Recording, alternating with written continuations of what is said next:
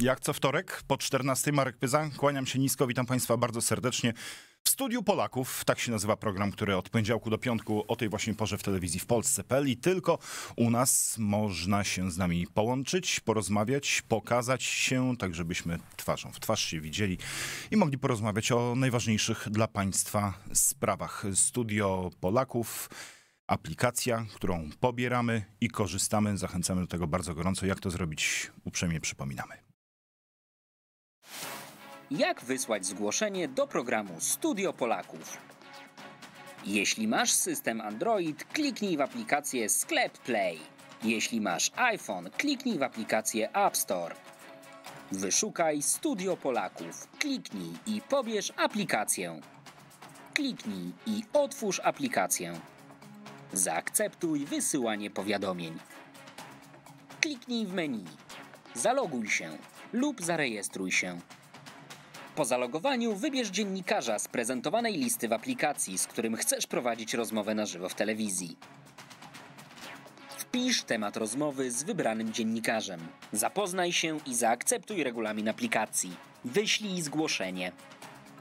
W wyznaczonym terminie Twojej rozmowy z dziennikarzem zaloguj się w aplikacji i oczekuj na połączenie ze studia telewizji w Polsce.pl. Skomplikowane to nie jest. Zachęcamy, żeby korzystać z naszej aplikacji. E, Mam nadzieję, że jeszcze może w tym wejściu uda nam się e, połączyć. Studiopolaków.pl, ten adres, który Państwo widzą e, u dołu ekranu. Tam też można sobie odświeżyć pamięć i sprawdzić, jak korzystać z naszej aplikacji. W oczekiwaniu na Państwa zgłoszenia, ewentualnie na Państwa telefony w postaci awaryjnej formy kontaktu z nami zerkniemy do dzisiejszej prasy, a dziś, choć wtorek, to dopiero od dziś nowe wydanie tygodnika e, sieci w kioskach. Zachęcam bardzo gorąco, oto e, jego okładka. Mamy nowe zdjęcia wraku Tu-154M który rozbił się 10 kwietnia 2010 roku w Smoleńsku. Razem z Marcinem Wikłą dotarliśmy do tego, co kryje hangar oraz prowizoryczna wiata ustawione na lotnisku Smoleńsk-Siewierny i od wielu lat y, mogli tam zaglądać y, ewentualnie tylko polscy prokuratorzy i specjaliści, którzy po uzyskaniu zgód strony rosyjskiej y, trzykrotnie już byli na dodatkowych oględzinach wraku, nadzorowali wykonywanie zdjęć.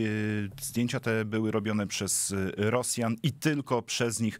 Jak przypominamy w tym tekście, nie było takiej możliwości, żeby polscy prokuratorzy czy technicy samodzielnie wykonywali te fotografie, które są im najpotrzebniejsze do dalszego prowadzenia śledztwa. Co znajdujemy w tym numerze? Już y, zaglądamy do środka. No i tak to niestety, proszę Państwa, wygląda. Napisaliśmy oto nasz y, wrak.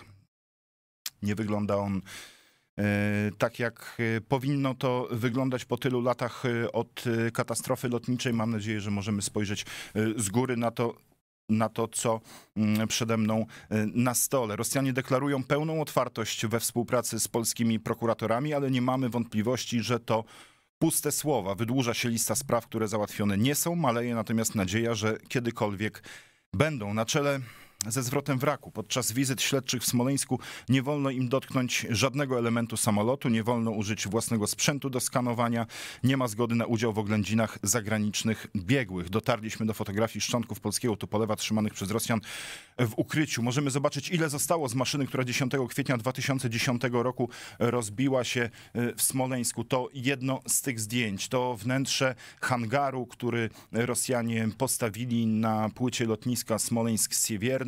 W tymże hangarze trzymana jest y, większość tych drobniejszych elementów samolotu. Te większe wciąż znajdują się w tym samym miejscu, co przez y, ostatnich kilka lat, mianowicie w pod taką prowizoryczną wiatą, do której wnętrza możemy zajrzeć właśnie na tych mm, fotografiach. Widzimy tę konstrukcję, która mm, została zbudowana wewnątrz tej wiaty. Widzimy, y, jak ciasno jest y, umiejscowiony y, wrak, szczątki tego samolotu. No i widzimy, widzimy zdjęcia, które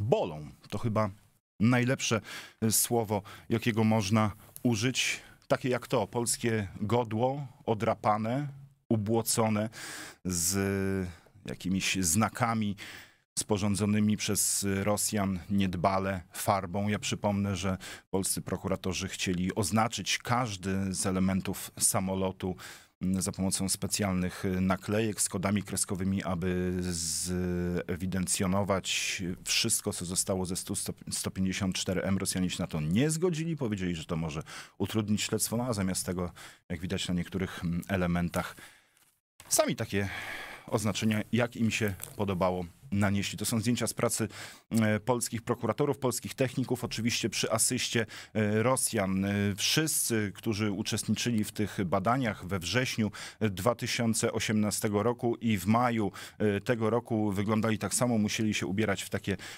kombinezony bardzo szczelne. Nie mogli Polacy nic tam wnosić, żadnego swojego sprzętu, a nawet telefonów komórkowych. Część z tych zdjęć do których y, dotarliśmy. Jak Państwo widzą, można obejrzeć w tygodniku sieci w wydaniu, które od dziś jest w kioskach. Nie tylko o tym oczywiście y, w tym numerze, ale o tym może za chwilę, bo mamy połączenie. Jest y, z nami pierwszy widz, pan Zygmunt ze Zgorzelca. Dzień dobry, panie Zygmuncie. Dzień dobry, witam pana redaktora, witam wszystkich. Czy miał już pan okazję, żeby się zapoznać halo, z tą... Halo, halo, halo, czy się słyszymy, panie Zygmuncie? Ja pana tak, słyszę. Tak, tak, słyszymy się. Widzowie, myślę, e, że również chciałem zapytać, czy pan już miał okazję zapoznać się z tą publikacją, która dziś w tygodniku sieci z tymi zdjęciami ze środka hangaru i wiaty w Smoleńsku? Niestety jeszcze nie miałem szansy, aczkolwiek na pewno skorzystam. Akurat y, ja osobiście uważam, że pan i pana kolega, czyli pan Marek, pan e, Marcin, e, gratuluję, bo moim zdaniem akurat panowie redaktorzy należycie do elity, jeżeli chodzi o dziennikarzy śledczych. Ale to tak a propos. Bardzo dziękujemy. A wrzucając temat, to co pan mówił a propos e, wraku. Nie wydaje mi się, żebyśmy my jako Polacy w najbliższym dziesięcioleciu mieli okazję oglądać ten wrak, e, czy jakiekolwiek badania, takie prawdziwe, na nim można by było przeprowadzić. Co się tam zdarzyło e, w Smoleńsku, jak się zdarzyło, możemy tylko gdybać, podejrzewać. Mimo wszystko, moim zdaniem, to będą chyba tylko i wyłącznie poszlaki na tej zasadzie coś będzie można pokombinować. Dlaczego? No dwóch najważniejszych dowodów. Jak mówiłem, wraku i oczywiście czarnych skrzynek nie będzie. Czy coś z tym y, aktualny rząd zrobi? Wydaje mi się, że nie. Ciężko mi chyba w to uwierzyć, że cokolwiek im się uda. No cóż, niestety Moskali y, my żeśmy nie lubili. Oczywiście była jakaś tam i jest nadal ta opcja, która y, lubi tych Moskali, ale no, no cóż, na komunę nie możemy wiele poradzić. To, że nas tam przez jakiś czas tłamsiła, trudno. Mówi pan, że rząd y, z tym niewiele zrobi. Ja tylko dopowiem, że też piszemy o tym y, w tekście, który y, towarzyszy publikacji tych zdjęć, że pewne zabiegi są czynione. Dowiedzieliśmy się o tym, że nie pozostało bez dalszego ciągu przyjęcie przez Radę Europy rezolucji, co miało miejsce w ubiegłym roku, rezolucji wzywającej Rosję do oddania Polsce jej własności, czyli właśnie wraku Tu-154M oraz czarnych skrzynek. Nic o tym się nie mówi, ale pewne zabiegi są czynione i dotarliśmy tak takiej informacji, że w Warszawie e, parę miesięcy temu był emisariusz Rady Europy, bardzo wysoko postawiony e, unijny polityk e, i przywódca, były przywódca jednego z państw unijnych. Takie rozmowy trwają. On później pojechał też do Moskwy.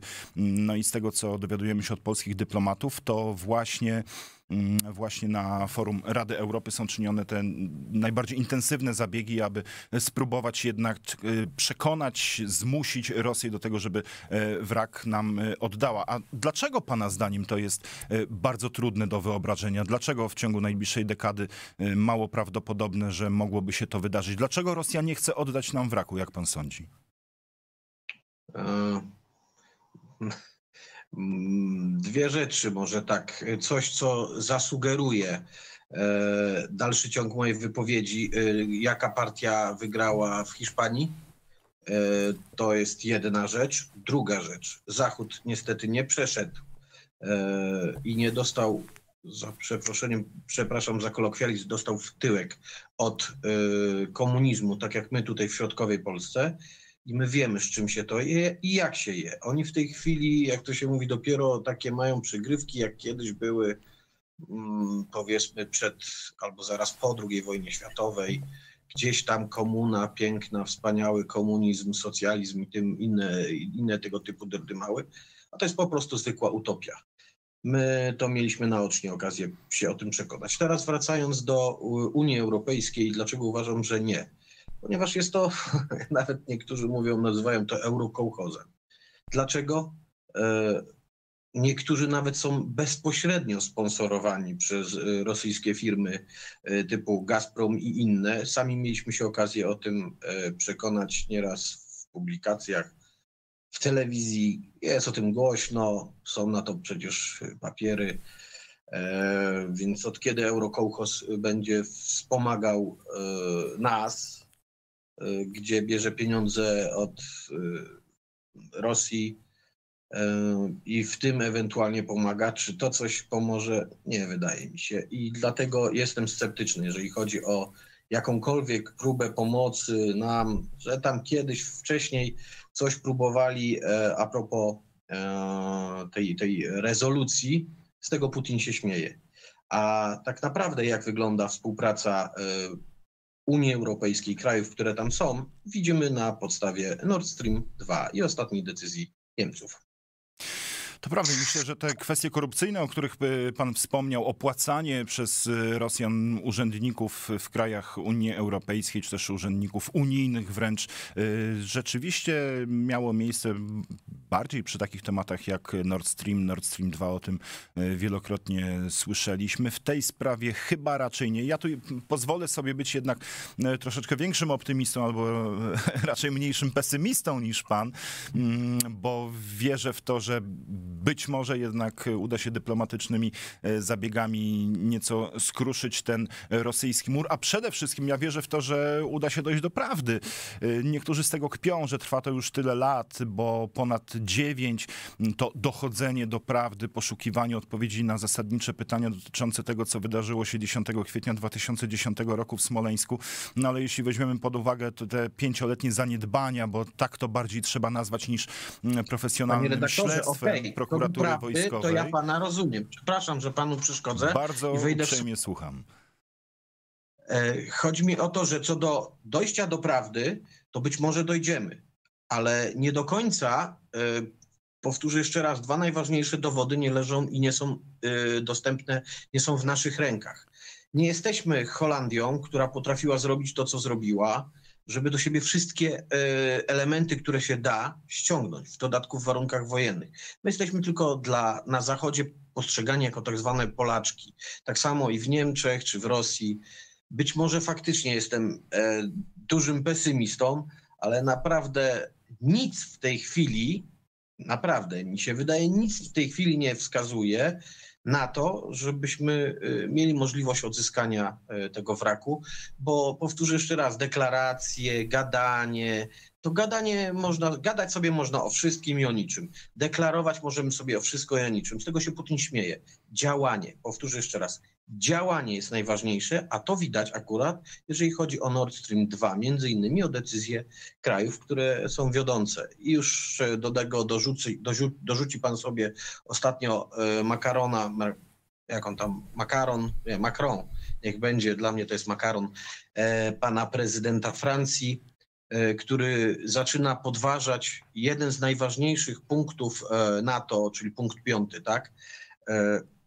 Jeżeli w ten sposób dwa najważniejsze moim zdaniem w tej chwili kraje, no bo można powiedzieć Anglia to jeszcze nie wiadomo, czy ona wychodzi, czy wchodzi, nie wiadomo, co z nimi będzie, ale przyjmijmy, że dwa największe kraje, najwięcej, najbardziej decyzyjne aktualnie, tworzące tandem, czyli Francja i Niemcy, e, robią wszystko, żeby podważyć e, ład, który jest aktualnie europejski i wszystko w tym względzie robić, żeby jak najbliżej skumać się z Rosją, jak najbardziej dokopać Polsce, no nie widzę, nie widzę niestety tutaj możliwości odebrania raku, y, wraku, a tu też się wszystko moim zdaniem skłania do jednej rzeczy, do tego, o czym moim zdaniem PiS akurat troszkę zapomniało. Bo im się wydaje, że oni nas, e, znaczy, że my żeśmy jako wyborcy ich wybrali do, do tego, żeby e, pomogli nam swojej wersji, swoim wyborcom, nie wiem, ciężko tutaj, e, ludziom, którzy na nich głosowali, na tą partię, na ten sposób, którzy mają taki sposób spojrzenia na świat jak partia PiS. E, oni myślą, że tylko chodziło nam o to, żeby zrobić nam dobrze. Nie po to, za moim zdaniem, e, ta partia została wybrana. A zapomnieli też i po co. Panie Zbigniewie, Panie Zbigniewie, to tu postawmy, przepraszam panie Zygmuncie, tu postawmy kropkę, musimy kończyć, bo i nasz czas y, dobiega końca. Do zobaczenia. Być może jeszcze w studiu Polaków. Ja tylko dopowiem, że w kwestii porównania się z Holandią po zestrzeleniu malezyjskiego Boeinga y, z kilkuset obywatelami Holandii nad y, Ukrainą, to było tak, że Holandia natychmiast sobie zażyczyła tego wraku. Polski rząd zachował się zupełnie inaczej w roku 2010 i dlatego dziś borykamy się z takimi, a nie innymi trudnościami. Będziemy o tym mówić w telewizji w Polsce.pl. E, już niebawem, za chwilę gorące pytania. Zostańcie Państwo z nami.